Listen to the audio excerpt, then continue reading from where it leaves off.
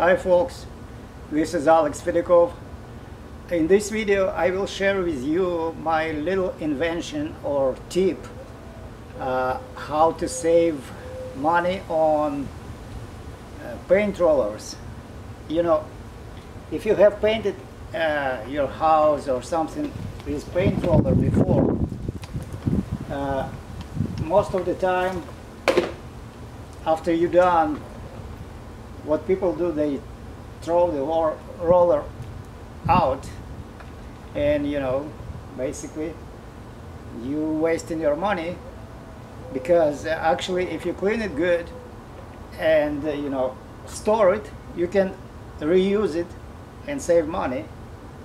So I just have finished my project and I have cleaned my roller nicely. It's clean it's no more paint in, in the roller but after you store it like this there is lots of water here in the roller.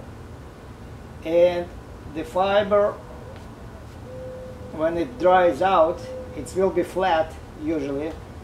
And when you start to to try to use it second time uh, most of the time it won't take uh, paint.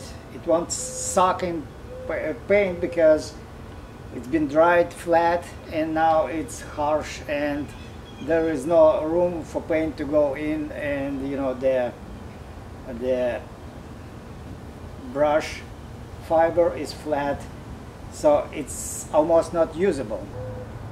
So I thought how can I dry this and have spread all the fiber nicely evenly out so it will be almost like new.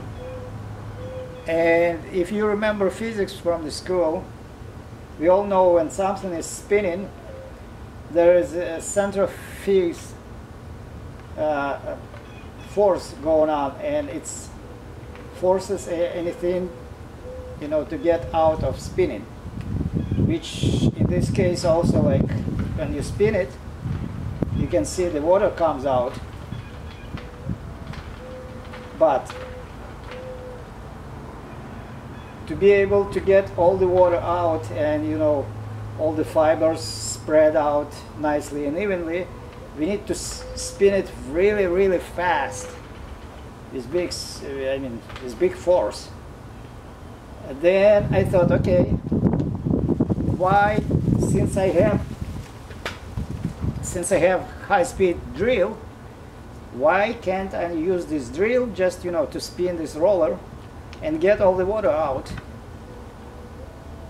So I thought okay it shouldn't be hard to do. And what I did basically I just took the screw just a screw and I screwed it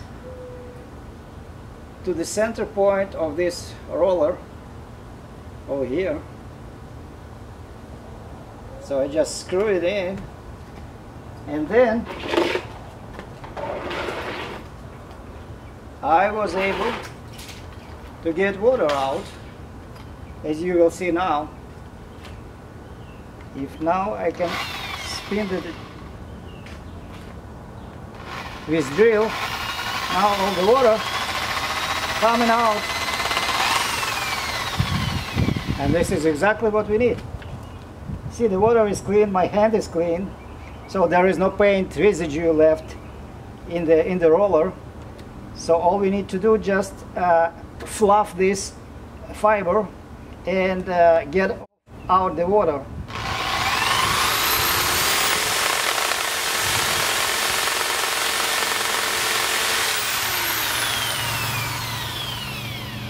Okay, now there is no more water coming out.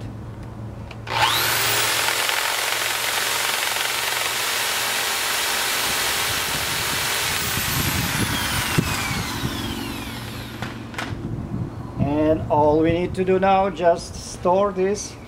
Look how nice the fiber is now out of the roller. It's not new, but it's pretty good. And I have experience with this already this roller will be useful again. And actually I have rollers which I have used four or five times. So you do the math. Each time you spend three four bucks sometimes more for one roller.